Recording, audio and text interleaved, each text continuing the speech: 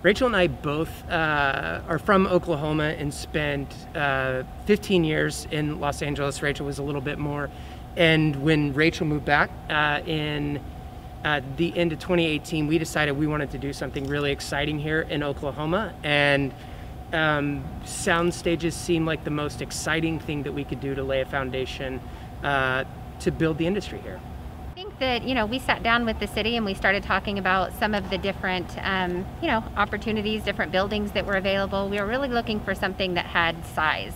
And um, the cox convention center with the new convention center opening in 2021 um, it just kind of was the perfect opportunity. This has the size it has the power it has the hvac um, it really is the perfect landscape for a film studio. Um, Cox Center is unique because um, it gives us an opportunity to have five sound stages. Uh, we have uh, three in the exhibit halls. There uh, is enough space to have three sound stages. This arena that we're in right here is 32,000 square feet with 65 foot ceilings, which makes it one of the biggest sound stages around. Um, and even upstairs in the ballroom uh, is a 25,000 square foot space that is perfect for sound stages. So it has all that, but it also has space for for office, for millwork, where sets are built. Um, there are practical locations. There's a diner. There's a industrial kitchen. So it really has everything that you need for a production facility. Well, uh, last spring, Prairie Surf Media, Rachel and Matt came to us, um, letting us know that they were looking at Oklahoma City for a, a place to locate a sound studio and asking about different opportunities or options the city might have for a space large enough to host that. So uh, we started brainstorming with them, different locations and buildings and facilities, and the Cox Center just kept rising to the top of the list as a building that might be suitable for their needs. Things about uh, Prairie Surf Media's vision was that they needed uh, to, to start a business industry here using a, uh, most likely a building that was already existing so they wouldn't have to build the infrastructure.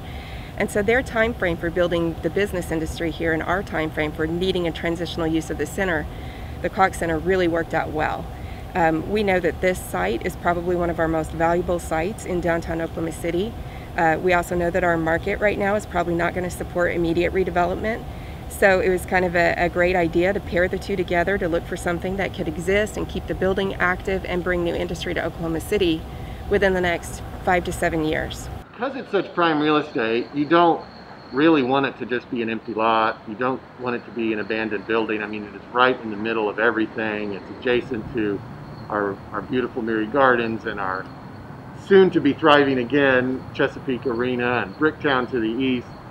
Um, it's not out of sight, out of mind. And so you are left with some bad choices in that interim period. Before something exciting happens here, you've got either an abandoned building or a gigantic surface parking lot. You know, those are kind of your two options um, in the short term. And again, if you can turn it into uh, a lively, functioning you know, film production facility, which, I mean, to even say those words sounds crazy. Like this was not something that was on our radar, um, you know, a year or two ago. But if that can come to fruition, there's enormous upside there, obviously, for the community at large and for the film industry, but it also brings life to this block for years to come while we try to figure out what the long-term future is for this property. So this is where we imagine a TV series coming. So being able to have three different stages that would be able to house, you know, anything from Amazon, Netflix, Hulu, Disney. And so as soon as we can come out and talk about that, those will be our first calls. Um, we have, as long as I've been around, uh, which is probably about 15 years in Oklahoma City civic life, there have been, um, you know, ardent proponents of the film industry. And obviously Dead Center has been, you know, something that has grown over that same time period. And I think it's you know a great industry to be a part of, and I think that we as a city have tried to do everything we can to encourage it. It seems as if it never really took hold uh, to the degree it has now until the state really invested in it through the film credit. That really changed things. I mean, we've had a film credit, but when it got sort of amplified in the last few years, you could just notice here in the last two years the difference. That there have been film productions all over the state. Um, you know, and, and obviously from to the layperson standpoint, it's when the A-list actors hit town that, that we really notice. You know, that that may that is that is not necessarily the great economic impact of a film production to have an A-list movie star in town. it's the crew and it's everything else that comes with it. But that has just been sort of a reflection of this growing industry that I think has really been pushed by the film credit. And I credit also, you know, the Oklahoma Film Office. You know, we don't have an Oklahoma City film office. I kind of wish we did, but but we have worked in really great partnership with with Tava Sofsky and, and the Oklahoma Film Office team.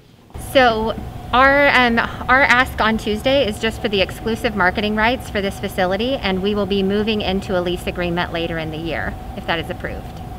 And what do you?